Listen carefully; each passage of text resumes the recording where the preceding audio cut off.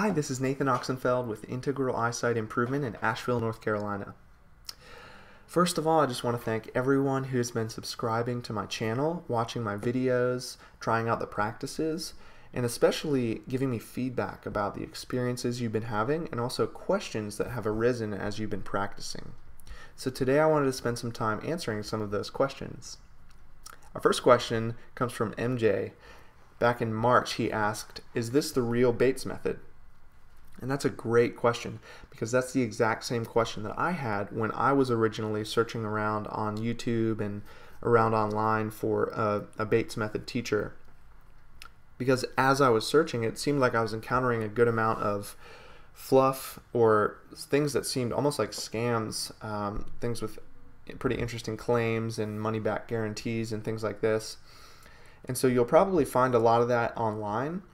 But the reason that I chose my vision teacher, Dr. Jerriann Taber, with the Vision Training Institute out in California, was because she is in direct teaching lineage of Dr. Bates and Margaret Corbett, who continued teaching after Dr. Bates passed away. So I pride myself in teaching the original Bates method. Um, I've got Dr. Bates's original book, Perfect Sight Without Glasses, from 1920 um, I've read through that. That's my primary foundation for my teachings. I do incorporate other practices from yoga and meditation and other holistic healing modalities, but the original Bates method is what I teach. So thank you so much for asking that. Our next question comes from Bill, and he asked about astigmatism. He asked me to make a video about astigmatism um, because he experiences double images from a problem with the cornea. And you're right, Bill, that does sort of warrant a whole separate video, which I do have a plan to film. But in the meantime, I did send you some specific practices that are designed to target astigmatism in particular. So definitely continue practicing those. And from Dr. Bates, his main thing with astigmatism was to ignore astigmatic images. What that means is if you see double images, you need to be able to determine which one is the real image and which one is the double or the shadow. And only pay attention to the real one and stop paying attention to the, the false image. Because once you stop feeding those astigmatic images, they'll begin to dwindle and your vision will be less doubled and more single. And I speak from experience because I used to have astigmatism as well, and no longer do I experience those doubles or triples or quadruples sometimes. And you're right, it is a problem with the cornea. The cornea is misshapen, which creates those uh, refraction errors. But when you release the tension and strain from the muscles around the eyes, that loosens the grip it has on the cornea, and the cornea goes back to its normal shape, which gets, gets rid of those double images. And similar to that question um, from Rainsies in May, she was asking about nystagmus, which is uh, a nervous problem where the, the eye um, sort of jitters or moves uncontrollably pretty quickly. And so just just like astigmatism, for nystagmus, anything that you can do to promote relaxation and calm down your nervous system is going to benefit both of those problems. So specifics for both of those would include palming, sunning, and the long swing in particular. Those are all going to be really good to promote relaxation and decrease strain. So anything to calm down your nervous system and bring you to a state of relaxation is going to help decrease both astigmatism and nystagmus. Brian Wu asked in July, after I'm done palming, why do I feel like it's too bright and my eye hurts? That's because when you sun, your pupils close down because of the increased light levels. When you go into palming right afterwards, your pupils dilate from the darkness. And so when you remove your palms and re-enter the light, your pupils are dilated and it is is very bright. So whenever you come out of palming, you always want to do sunning again after you palm. And that'll give your pupils a chance to close back down and readjust to the light levels. Uh, you can also if you're just outside and it seems really bright, you can just face the sun, do a little bit of sunning, and then instead of palming, just open your eyes back up because your pupils will have closed down nicely. So that's a great question to clear up. LF asked us another question about the sunning. Uh, they have a, a, white reflective wall and we're asking if they could do the sunning there facing the wall with the, the sun reflecting off.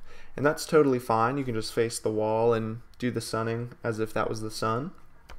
For the most benefit though, I would suggest trying it facing directly towards the sun, close to sunrise or sunset when the sun is lower in the sky and it's less intense.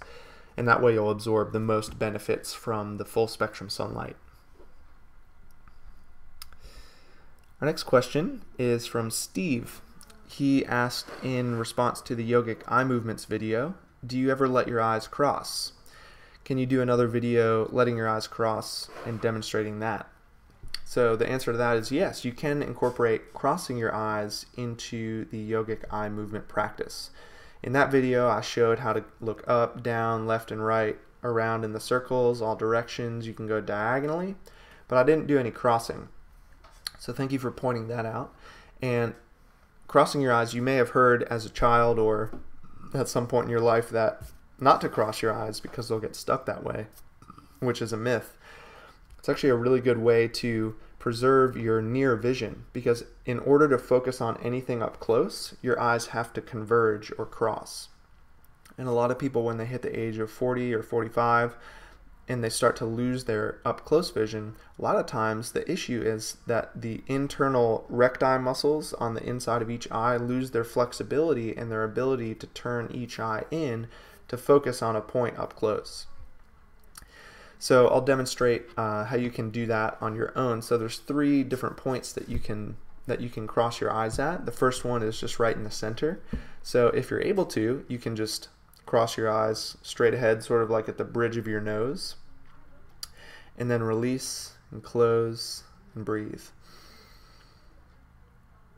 If you can't just automatically cross your eyes, it might help if you have an object to focus on. So if you hold a pen or a pencil, you can just focus on the tip of the pen as you slowly bring it in and just watch it come and get closer.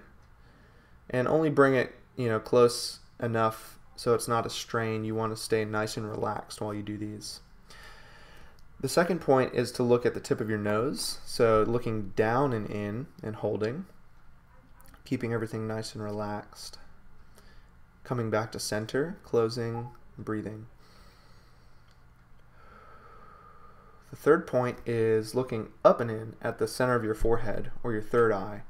So this time you look up and in and make sure, just like all the other yogic eye movements, to keep your entire face relaxed, your eyebrows relaxed, your shoulders relaxed, and breathing nice and easily as you hold.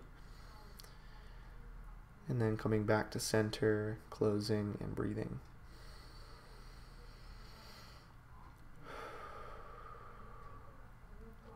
Someone also asked if you can do the yogic eye movements with your eyes closed or while you're palming, and that both of those options are great too. So with your eyes closed, you can cross your eyes, look down and in, up and in, go around in a circle. You can do it while you're palming as well. That's a great way to, to guarantee that you're doing the yogic eye movements in a relaxed way. So I hope that helps clear up some of the questions you've been having. And I encourage you to keep sending me more questions so that I can film more of these Q&A videos. Um, and also just sending more questions as I film more videos teaching more of the practices. So thank you again so much for subscribing and watching. And I hope you have fun continuing your practice of improving your own eyesight.